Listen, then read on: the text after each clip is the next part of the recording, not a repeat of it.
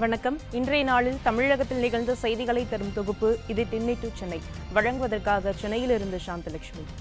Kaveri news தொலைக்காட்சியின் இயக்குனர் திரு இளங்கோவன் அவர்களின் தாயார் சீதாலட்சுமி அம்மையார் இன்று அதிகாலை இரண்டு முப்பது மணி அளவில் காலமானார். அவரது இறுதிச் சடங்கு இன்று மாலை மூன்று மணி அளவில் பூவிருந்தவல்லியில் நடைபெறுகிறது.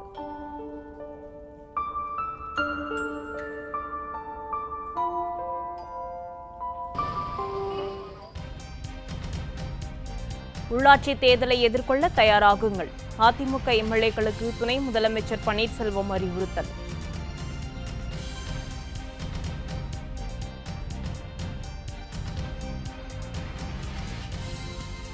விரைவில் அதிமுகவிற்கு தொலைக்காட்சி மற்றும் செய்தித்தாள். முதலமைச்சர் பழனிசாமி அறிவிப்பு. அதிமுகவின் அதிகாரப்பூர்வ செய்தி தொடர்பாளர்களாக பனிரண்டு பேர் நியமனம். நமது எம்ஜிஆர் நாளிதழின் முன்னாள் ஆசிரியர் மருது அழகுராஜுக்கும் வாய்ப்பு. சிவகாசியில் பட்டாசு உற்பத்தியாளர்கள் ஒன்பதாம் நாளாக போராட்டம். பட்டாசு தொழிலை பாதுகாக்க வலியுறுத்தல். வீரபாண்டிய கட்டபொம்மனின் இருநூற்று ஐம்பத்தொன்பதாவது பிறந்தநாள் விழா. சிலைக்கு மாலை அணிவித்து மரியாதை. உடுமலை அமராவதி அணையிலிருந்து தண்ணீர் திறப்பு. ஆயக்கட்டு வாய்க்கால் பாசன விவசாயிகள் மகிழ்ச்சி. இனி விரிவான செய்திகளை பார்க்கலாம். அதிமுக எம்எல்ஏக்கள் கூட்டம் கட்சி தலைமை அலுவலகத்தில் நடைபெற்றது. சட்டசபை கூட்டத்தொடர் வரும் எட்டாம் தேதி ஆளுநர் பன்வாரிலால் புரோஹித்தின் உரையுடன் துவங்குகிறது. சுயேட்சையாக வெற்றி பெற்ற தினகரனும் பங்கேற்க உள்ளார். எதிர்க்கட்சியான திமுகவும் பல்வேறு பிரச்சனைகளை எழுப்ப திட்டமிட்டுள்ளது. இந்நிலையில் அதிமுக எம்எல்ஏக்கள் கூட்டம் இன்று நடைபெற்றது. அதில் முதலமைச்சர் எடப்பாடி பழனிசாமி துணை முதலமைச்சர் ஓ பன்னீர்செல்வம் அமைச்சர்கள் மற்றும் அதிமுக எம்எல்ஏக்கள் கலந்து கொண்டனர்.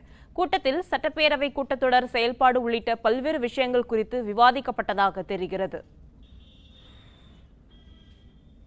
இதனிடையே அதிமுக கட்சிக்கென பிரத்யேகமாக புதிய தொலைக்காட்சி சேனல் நாளிதழ் தொடங்குவது குறித்து இன்று நடந்த அக்கட்சியின் எம்எல்ஏக்கள் கூட்டத்தில் ஆலோசிக்கப்பட்டுள்ளது. மேலும் உள்ளாட்சி தேர்தலுக்கு தயாராக இருக்குமாறு துணை முதலமைச்சர் பன்னீர்செல்வம் அறிவுறுத்தியுள்ளதாகவும் தகவல் வெளியாகியுள்ளது. யாராலும் அதிமுக ஆட்சியை கலைக்க முடியாது என மீன்வளத்துறை அமைச்சர் ஜெயக்குமார் தெரிவித்துள்ளார். அதிமுக தலைமை அலுவலகத்தில் அதிமுக சட்டமன்ற உறுப்பினர்களின் ஆலோசனைக் கூட்டம் நடைபெற்றது.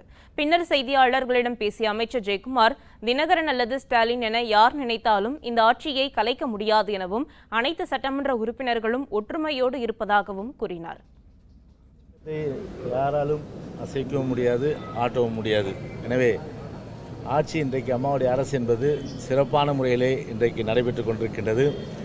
எனவே யார் நினைத்தாலும் அதாவது ஒரு திரு ஸ்டாலினோ திரு தினகரன் நினைத்தாலும் கூட முழுமையான அளவிற்கு அம்மாவுடைய அரசை எந்த விதத்திலும் வந்து ஒரு கவிழ்க்கவோ இல்லை ஆட்சிக்கு ஒரு ஊறு விளைக்கின்ற செயலோ நிச்சயமாக எந்த விதமான ஒரு நடவடிக்கையும் அவர்கள் எடுப்பதற்கு அதில் வந்து ஒரு முகாந்திரம் இல்லை. ஏனென்று சொன்னால் அனைத்து சட்டமன்ற உறுப்பினர்களும் முழுமை அளவிற்கு ஒற்றுமையோடு இருந்து அம்மாவுடைய அரசு இந்த ஐந்தாண்டு காலம் ரெண்டாயிரத்தி இருபத்தொன்று மட்டுமல்ல எதிர்வரும் காலங்களிலும் கூட அம்மாவுடைய அரசு தொடர வேண்டும் என்ற வகையில்தான் முழுமை அளவிற்கு இன்றைக்கு எல்லோரும் ஒற்றுமையாக இருந்து அம்மாவுடைய அரசை இன்றைக்கு வழிநடத்தி சென்று கொண்டிருக்கின்றோம். அதிமுக செய்தி தொடர்பாளர்களாக முன்னாள் அமைச்சர்கள் பொன்னையன் கோகுல இந்திரா வளர்பதி வைகை செல்வன் உள்ளிட்ட பனிரெண்டு பேர் நியமனம் செய்யப்பட்டுள்ளனர். இது தொடர்பாக அக்கட்சியின் தலைமை கழகம் வெளியிட்டுள்ள செய்திக்குறிப்பில் ஜேசிடி பிரபாகர் சமரசம் மருது அழகுராஜ் கோவி செல்வராஜ் பேராசிரியர் Dheeran K C Palanisamy A S Maheswari Babu Murugavel ஆகியோர் நியமிக்கப்பட்டுள்ளதாகவும் இவர்களைத் தவிர மற்ற யாரும் வானொலி நாளிதழ் தொலைக்காட்சிகளில் பேட்டியளிக்க அனுமதி இல்லை என்றும் தெரிவிக்கப்பட்டுள்ளது. இதேபோல் தோழமை கட்சிகளில் இந்திய தேசிய முஸ்லிம் கட்சியின் மாநில தலைவர் ஒய். ஜவஹர் அலி அவர்கள் மட்டுமே ஊடகங்களில் நடைபெறும் விவாதங்களில் கலந்து கொள்வார்கள் என்றும் அந்த செய்திக்குறிப்பில் தெரிவிக்கப்பட்டுள்ளது. ஆறுமுகசாமி விசாரணை ஆணையத்தில் மருத்துவர் சுதா சேஷையன் இன்று நேரில் ஆஜரானார். ஜெயலலிதா மரணம் தொடர்பாக விசாரணை ஆணையம் அமைக்கப்பட்டு பல்வேறு கட்டங்களாக விசாரணை நடைபெற்று வருகிறது. ஜெயலலிதாவிற்கு தொடர்புடைய அனைவரும் நேரில் ஆஜராகி விளக்கம் அளிக்கும்படியும் தங்களிடம் உள்ள ஆதாரங்களை சமர்ப்பிக்கவும் விசாரணை ஆணையம் உத்தரவிட்டது. அதன் அடிப்படையில் இளவரசியின் மகள் கிருஷ்ணபிரியா நேற்று நேரில் ஆஜராகி ஆறுமுகசாமியின் கேள்விகளுக்கு பதிலளித்தார். மேலும் தினகரன் சார்பில் அவரது வழக்கறிஞர் ராஜா செந்தூர் பாண்டியன் ஆஜராகி ஆதாரங்கள் அடங்கிய பென்ட்ரைவ் ஒன்றை சமர்ப்பித்தார். இந்நிலையில் ஜெயலலிதா மருத்துவமனையில் இருந்தபோது அவருக்கு எம் ஃபார்மிங் செய்த மருத்துவர் சுதா சேஷியன் இன்று விசாரணை ஆணையத்தில் ஆஜராகி தனது தரப்பு விளக்கங்களை அளித்தார். பின்னர் செய்தியாளர்களிடம் பேசிய அவர் எம்ஃபார்மிங் செய்யப்பட்ட முறை பற்றி ஆறுமுகசாமியிடம் தெரிவிக்கப்பட்டதாக கூறினார். மேலும் ஜெயலலிதாவிற்கு சிகிச்சை அளிக்கப்பட்ட போது தான் அவரை நேரில் பார்க்கவில்லை என மருத்துவர் சுதா சேஷியன் தெரிவித்துள்ளார். மறைந்த முதலமைச்சருடைய எம்பாமிங் அவங்களுக்கு ரெண்டாயிரத்தி பதினாறு டிசம்பர் மாதம் ஐந்தாம் தேதி இரவு எம்பாமிங் செஞ்சதை பற்றி கேட்டாங்க. என்ன ப்ரொசீஜர் ஃபாலோ பண்ணினீங்க? எப்படி எப்படிலாம் எம்பாமிங் பண்ணினீங்கன்னு கேட்டாங்க.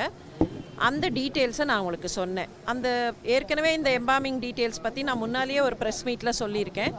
அதே டீட்டெயில்ஸை தான் அந்த ப்ரொசீஜர் எப்படி ஃபிஃப்டீன் மினிட்ஸு என்ன ஆச்சு டுவெண்ட்டி மினிட்ஸுங்கிறத அந்த டீட்டெயில்ஸ் சொன்னேன்.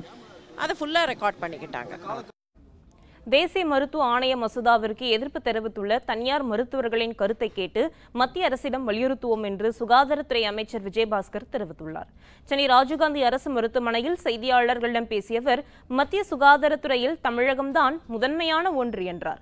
விரைவில் எய்ம்ஸ் மருத்துவமனை தமிழகத்தில் அமையும் என்றும் நம்பிக்கை தெரிவித்தார். தமிழக அரசுடைய நிலையை நான் நேற்றே தெளிவாக சொன்னோம். நம்ம வரவே மசோதாவை வரவேற்கிறோன்னு எந்த இடத்துலையும் சொல்லலை. நம்ம என்ன சொல்லியிருக்கோம் அப்படின்னா ஒரு இந்திய ம ம- மருத்துவ குழுமத்தில் ஒரு சீர்திருத்தத்தை கொண்டு வர்றதுன்றதுல தப்பு கிடையாது. இந்த சீர்திருத்தத்தை கொண்டு வர்றப்ப என்னென்ன சரத்துகள் இருக்கணுன்றது ரொம்ப ரொம்ப முக்கியமான விஷயம். ஏற்கனவே நம்ம மாநில அரசினுடைய சார்பில் பல்வேறு கருத்துக்களை எதிர்த்து இதையெல்லாம் மாற்ற வேண்டும் என்று அரசு சார்பில் தமிழரசு அரசு சார்பில் நாம் மத்திய அரசை வலியுறுத்திருக்கின்றோம் நேற்றும் நான் உங்கள்கிட்ட தெளிவாக சொன்னேன். நம்முடைய தமிழ்நாட்டினுடைய பங்களிப்பு என்பது மத்திய அரசில் வந்து ரொம்ப ரொம்ப முக்கியமான விஷயம். தமிழ்நாடு ஹெல்த் செக்டார் தான் ஒரு மேஜர் செக்டாரு. நம்முடைய பங்களிப்பு அதிகமான ஒரு லட்சத்துக்கு மேற்பட்ட மருத்துவர்கள் தமிழ் பிரைவேட் அண்ட் கவர்மெண்ட் அதிகமான மருத்துவக் கல்லூரிகள் ஏன்னா பெரிய செக்டார் வந்து தமிழ்நாடு. அதனால் தமிழ்நாட்டுக்கு மாநில உரிமையை நிலைநாட்டக்கூடிய அளவிற்கு அதிக பிரதிநிதித்துவம் குறிப்பாக நீங்கள் சொல்லக்கூடிய மெம்பர்ஸ் அதிலெல்லாம் அதிக பிரதிநிதித்துவத்தை கொடுக்க வேண்டும் என்ற பல்வேறு கருத்துக்களை நம்ம ஏற்கனவே வலியுறுத்திருக்கின்றோம். இப்போ நிலைக்குழுக்கு அனு அனுப்பியதுன்றது ஒரு நல்ல விஷயம். அப்போ கருத்துக்களை நம்ம தெரிவிக்க முடியும். தமிழக அரசு சார்பில் தமிழ்நாட்டில் இருக்கக்கூடிய அரசு மருத்துவர்கள் டிஎன்ஜிடிஏ தமிழ்நாட்டில் இருக்கக்கூடிய ஐஎம்ஏ இந்தியன் மெடிக்கல் அசோசியேஷன் இவருடைய கருத்துக்களை எல்லாம் அவர்கள் தெரிவிக்கலாம். நாங்களும் அந்த கருத்துக்களை பெற்று அவர்களுடைய அந்த கருத்துக்களுடைய பிரதிபலிப்பை நிச்சயமாக மத்திய அரசிடம் அழுத்தமாக வலியுறுத்துவோம் என்பதை தெரிவித்துக் கொள்கின்றேன். போலி மருத்துவர்களிடம் சிக்கி மக்கள் பலியாவதை தடுக்க தேசிய மருத்துவ ஆணைய மசோதா கொண்டு வரப்படுவதாக பாஜக மாநில தலைவர் தமிழிசை சவுந்தரராஜன் தெரிவித்துள்ளார். திருச்சி விமான நிலையத்தில் செய்தியாளர்களிடம் பேசிய அவர் மருத்துவ கவுன்சிலில் ஊழல் ஒழிக்கப்பட வேண்டும் என்றார். மேலும் ஆயிரம் பேருக்கு ஒரு மருத்துவர் கூட இல்லை என்றும் குற்றம் சாட்டினார். இந்தியால ஆயிரம் பேருக்கு ஒரு மருத்துவராவது இருக்கணும் என்பது உலக சுகாதார மையத்தின் ஒரு திட்டம். ஆனால் இந்தியால ஆயிரம் பேருக்கு ஒரு மருத்துவர் கூட இல்லை. ஆயிரம் பேருக்கு புள்ளி ஆறு மருத்துவர் தான் இருக்கிறாங்க. கிராமப்புற மருத்துவ சேவை பதினெட்டு சதவீதம் தான் தகுதியான மருத்துவர்களிடமிருந்து கிடைக்கிறது. மற்றவங்க எல்லாம் போலி மருத்துவர்கள்.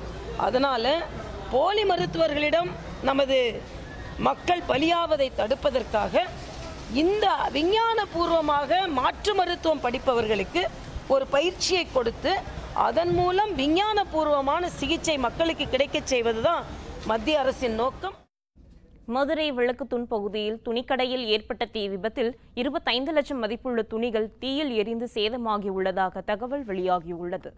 மதுரை விளக்குத்தூண் பகுதியில் ஜவுளி கடையில் தீ விபத்து ஏற்பட்டுள்ளது. இந்த தீயை அணைக்க ஏழு தீயணைப்பு வாகனங்கள் மூலம் பல மணி நேரத்திற்கு பின்னர் போராடி தீயை கட்டுக்குள் கொண்டு வந்தனர். இந்த துணிக்கடை தீ விபத்தில் சுமார் இருபத்தைந்து லட்சம் ரூபாய் மதிப்பிலான துணிகள் தீயில் எரிந்து சேதமாகியுள்ளதாக தகவல் வெளியாகியுள்ளது.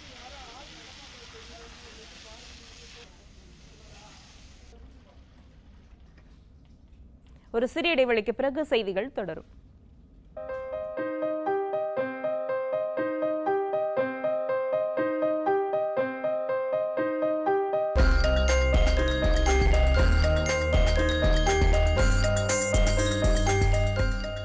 டைமண்ட் ஜுவல்லரி வாங்குறவங்க ரிச்சா இருப்பாங்க. அவங்க கிட்ட அதிக ரேட்டுக்கு விற்கலான்னு மார்க்கெட்ல ஒரு கணக்கு இருக்கு. ஐ திங்க் இட்ஸ் ராங் கேரட்டுக்கு சிக்ஸ்டி சிக்ஸ்டி ஃபைவ் தௌசண்ட் விற்கிற மார்க்கெட்ல உங்க லலிதா ஜுவல்லரியில ஃபார்ட்டி சிக்ஸ் தௌசண்ட்க்கு தரும். இது வரைக்கும் அதிக விலை கொடுத்தது போதும்.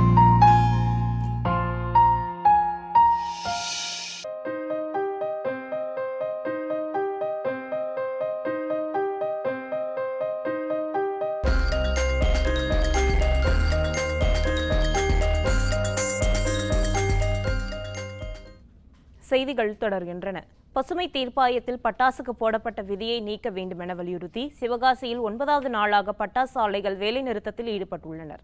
விருதுநகர் மாவட்டம் சிவகாசி மற்றும் சுற்றுவட்டார பகுதிகளில் சுமார் எண்ணூற்றுக்கும் மேற்பட்ட பெரிய மற்றும் சிறிய அளவிலான பட்டாசு ஆலைகள் இயங்கி வருகின்றன. இத்தொழிலை நம்பி சுமார் பத்து லட்சம் தொழிலாளர்கள் நேரடியாகவும் மறைமுகமாகவும் வேலைவாய்ப்பு பெற்று வருகின்றனர்.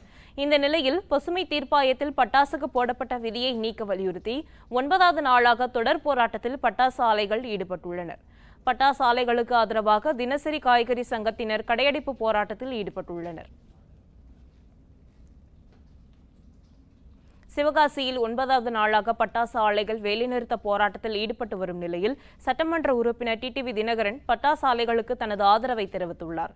இது தொடர்பாக அவர் வெளியிட்டுள்ள அறிக்கையில் பட்டாசு ஆலைகள் மூடப்பட்டதை கண்டுகொள்ளாத தமிழக அரசுக்கு கண்டனத்தை தெரிவிப்பதாக குறிப்பிட்டுள்ளார்.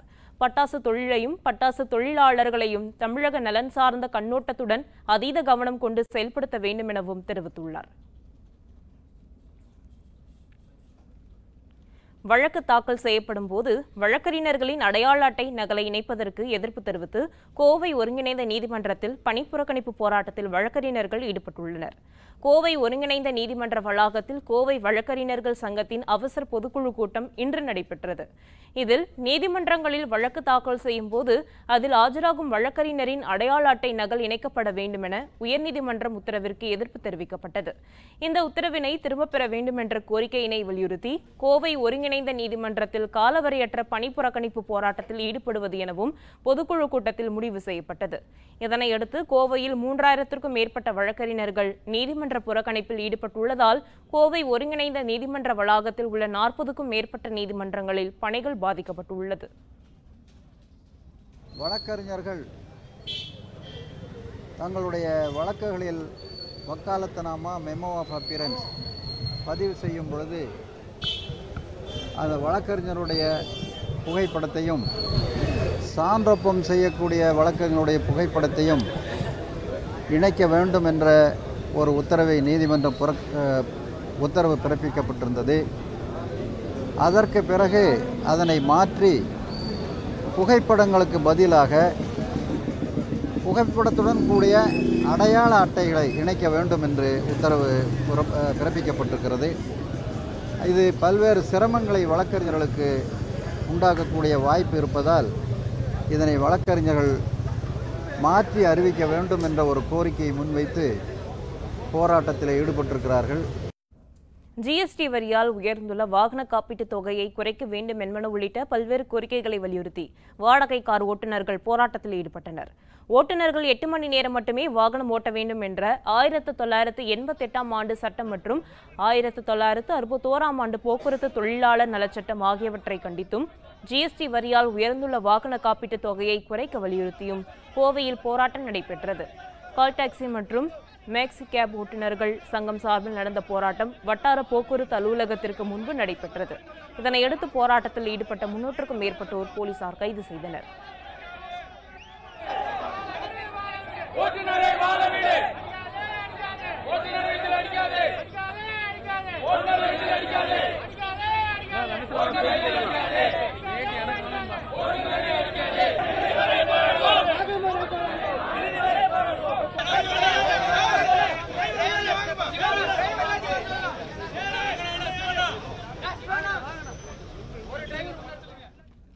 தொழில்நுட்பம் நாளுக்கு நாள் வளர்ந்து வரும் வேளையில் திருப்பூர் மாவட்டம் உடுமலை அருகே பதினைந்து ஆண்டுகளாக சாலை வசதி பேருந்து வசதி உள்ளிட்ட அடிப்படை வசதிகள் இல்லாமல் தவித்து வருகின்றனர். இது குறித்த ஒரு செய்தி தொகுப்பை தற்போது பார்க்கலாம். திருப்பூர் மற்றும் திண்டுக்கல் மாவட்ட எல்லை பகுதியில் அமைந்துள்ளது கடந்தூர் ஊராட்சியில் உள்ள இந்திரா நகர் காலனி. இங்கு முன்னூற்றுக்கும் மேற்பட்ட மக்கள் வசித்து வருகின்றனர். சுமார் பதினைந்து ஆண்டுகள் முன் சாலை அமைப்பதற்காக மண் மற்றும் சரளி கற்கள் போடப்பட்டுள்ளது. ஆனால் அதன் பிறகு அதிகாரிகள் உட்பட யாரும் கண்டு கொள்ளவில்லை என புகார் தெரிவித்துள்ளனர் கிராம மக்கள். பதினஞ்சு வருஷத்துக்கு முன்னாடி கொண்டு வந்து கல் கொட்டி மண்ணு போட்டாங்க. தார் சாலை அமைக்கிறேன்னு சொல்லிட்டு. எந்த ஒரு நடவடிக்கையும் இல்லைங்க. கல் கொட்டினாங்க. அதுக்கு முன்னாடி யாரும் வரல. நாங்களும் நிறைய பேர்த்து முறையிட்டு எல்லாம் பார்த்தோம். எந்த இதுவும் இல்லைங்க. இனி இப்படியே போயிட்டு இருந்தால் ஒன்றும் பண்ண முடியாதுங்க. ஒரு படிக்கக்கூடிய குழந்தைங்க வந்து ஒன்றாவது ஒரு குழந்தைய ஆறு மணிக்கே எழுப்பி அடித்து தாட்டி விடுற மாதிரி இருக்குதுங்க. ஒரு காய்ச்ச குளிர் ஏதாச்சும் ஒரு அவசர ஆத்திரம்னு போகணுன்னால நூற்றி எட்டுக்காரங்களே வர மாட்டேங்கிறாங்க. கவர்மெண்ட்டுக்கு சேர்ந்த மாதிரி இருக்கவங்களே மற்ற வாடகை வண்டிக்காரங்கள நீங்களே யோசிச்சு பாருங்கள் யாரும் தடத்தை பார்த்தாலும் சுத்தமாக வர மாட்டேங்கிறாங்க. இரண்டு மாவட்டங்களின் எல்லையில் ஊர் அமைந்துள்ளதால் சாலை வசதி பேருந்து வசதி என எந்த வசதியையும் ஏற்படுத்த மாவட்ட நிர்வாகங்கள் முன்வரவில்லை. இது குறித்து பலமுறை புகார் அளித்தும் பலனில்லை என்று கூறும் கிராம மக்கள் அரசு உரிய நடவடிக்கை எடுக்க வேண்டும் என்ற கோரிக்கை விடுத்துள்ளனர். பேருந்து வசதியோ இல்லை தார் சாலையோ எதுவும் இல்லை. ஆகையால் இங்கே வந்து குழந்தைகள் படிக்கிறதுக்கு ரொம்ப ரொம்ப பிரச்சனையாக இருக்குது. எந்த ஒரு நடவடிக்கையும் இதுவரைக்கும் துறை சார்ந்த அதிகாரிகளுக்கு மனு கொடுத்துருக்குறோம் போராட்டம் பண்ணியிருக்கிறோம். எந்த ஒரு அதிகாரியும் இதுவரைக்கும் எந்த ஒரு நடவடிக்கை எடுக்கவில்லை. ஆகையால் இது சீக்கிரமாக உடனடியாக எடுத்து இந்த மக்களுக்கு உடனடியாக தார் சாலை அமைச்சு பேருந்து வசதி ஏற்படுத்தி தருமாறு தாழ்ந்து படுகிறோம் கேட்டுக்கொள்கிறோம். பள்ளி குழந்தைகள் மற்றும் முதியோர்கள் பேருந்துக்கு செல்வதற்கும் பள்ளிக்கூடத்துக்கு செல்வதற்கும் மருத்துவமனைகள் போன்ற அடிப்படை வசதிகளுக்கு செ- செல்வதற்கும் கூட அந்த மக்கள் மிகவும் சிரமப்பட்டு கொண்டிருக்கிறார்கள். போக்குவரத்து துறை அதிகாரிகளும் நெடுஞ்சாலைத்துறை அதிகாரிகள் மற்றும் உள்ளாட்சி மன்ற அமைப்புகள் சம்பந்தப்பட்ட அதிகாரிகள் அந்த ஊர் பகுதிக்கு தார் சாலைகள் அமைப்பது பேருந்துகள் பள்ளி குழந்தைகளுக்கு காலை மற்றும் மாலை இரண்டு வேளைகளில் பேருந்துகளை அனுப்புவதற்கும் உரிய நடவடிக்கை எடுக்க வேண்டும் என்று கேட்டுக்கொள்கின்றோம். ஆண்டுகள் பல கடந்தும் அரசியல் காழ்ப்புணர்ச்சியால் தங்கள் கிராம வளர்ச்சி பாதிக்கப்பட்டுள்ளதாக வேதனை தெரிவித்துள்ள கிராம மக்கள் கோரிக்கைகள் எப்போது நிறைவேறும் என்ற எதிர்பார்ப்புடன் காத்து கிடக்கின்றனர். காவேரி நியூஸ் செய்திகளுக்காக விடுமலை செய்தியாளர் மோகனுடன் படத்தொகுப்பாளர் விஜயலட்சுமி மற்றும் அழகேசன்.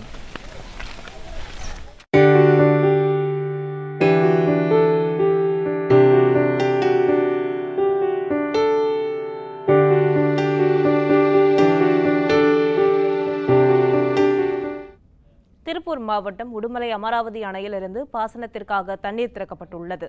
தொண்ணூறு அடி கொள்ளளவு கொண்டது உடுமலை அமராவதி அணை. பாசனத்திற்காக அணையிலிருந்து கூடுதலாக தண்ணீர் திறக்க விவசாயிகள் தமிழக அரசிற்கு கோரிக்கை விடுத்தனர். இதனை ஏற்று அமராவதி பழைய மற்றும் புதிய ஆயக்கட்டு பாசனத்திற்கு தண்ணீர் திறக்க முதலமைச்சர் பழனிசாமி உத்தரவிட்டார்.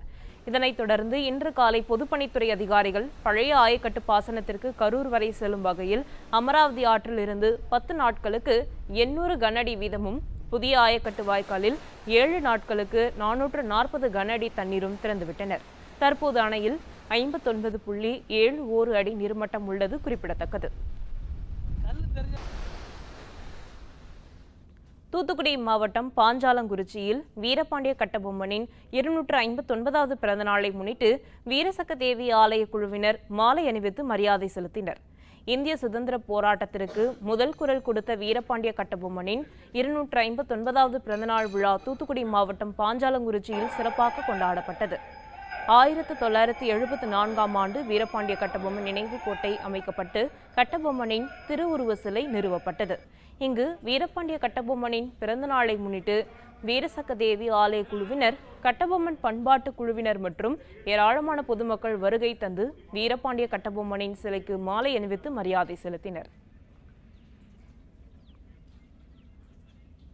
ஒரு சிறிய இடைவெளிக்கு பிறகு செய்திகள் தொடரும்.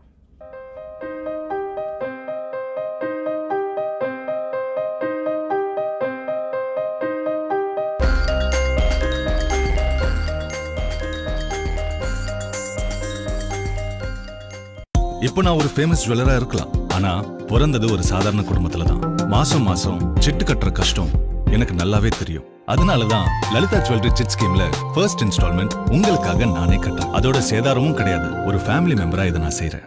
Get the best of DTH channels and internet content on your TV.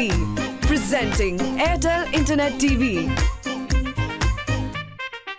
இப்போ நான் ஒரு ஃபேமஸ் ஜுவல்லரா இருக்கலாம். ஆனா பிறந்தது ஒரு சாதாரண குடும்பத்துல தான். மாசம் மாசம் சிட்டு கட்டுற கஷ்டம் எனக்கு நல்லாவே தெரியும். அதனால தான் லலிதா ஜுவல்லரி சிட் ஸ்கீம்ல ஃபர்ஸ்ட் இன்ஸ்டால்மெண்ட் உங்களுக்காக நானே கட்டேன் அதோட சேதாரமும் கிடையாது. ஒரு ஃபேமிலி மெம்பரா இதை நான் செய்யறேன்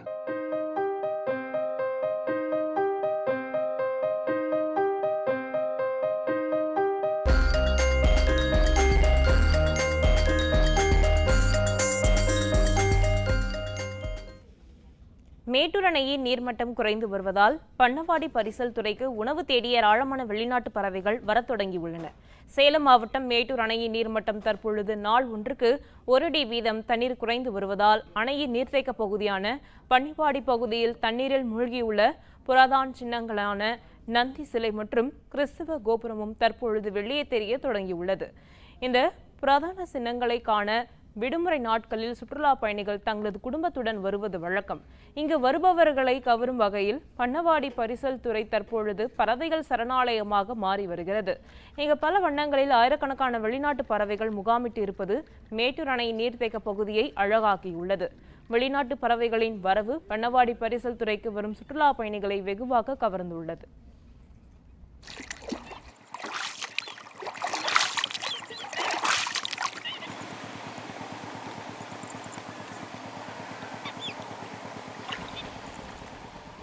உளுந்தூர்பேட்டை அருகே சுண்ணாம்பு தன்மை அதிகமாக உள்ள தண்ணீரை குடிநீராக பயன்படுத்தி தங்களுக்கு கல்லீரல் நோய் பாதிப்பு அதிகம் என்கின்றனர். திருப்பூர் கிராம மக்கள். இது குறித்த ஒரு செய்தி தொகுப்பை தற்போது பார்க்கலாம். விழுப்புரம் மாவட்டம் உளுந்தூர்பேட்டை அருகே உள்ளது திருப்பெயர் கிராமம். மலை கிராமமான இங்கு மூன்றாயிரத்திற்கும் மேற்பட்ட மக்கள் வசித்து வருகின்றனர். இந்த கிராமத்திற்கு நகராட்சி நிர்வாகம் மூலம் தண்ணீர் விநியோகம் செய்யப்பட்டு வருகிறது. இந்த தண்ணீரை குடிநீராக பயன்படுத்தி வரும் மக்கள் அடிக்கடி நோய்வாய்ப்பட்டு வருகின்றனர். இந்நிலையில் மக்கள் தொடர்ந்து மருத்துவ பரிசோதனை செய்த பின்புதான் நகராட்சி மூலமாக விநியோகிக்கும் தண்ணீர் மூலம் கல்லீரல் நோயால் தாங்கள் பாதிக்கப்பட்டுள்ளதை அறிந்துள்ளனர் திருப்பெயர் கிராம மக்கள். மூணு வருஷ காலமாக அது திறந்துக்கிட்டே இருக்குது நாங்கள் சரி விவசாயி எங்களால் ஒன்றும் பார்க்க முடியல. நாங்களும் தொடர்ந்து ஆஸ்பத்திரியில் பார்த்துட்டு தான் இருக்கிறோம்.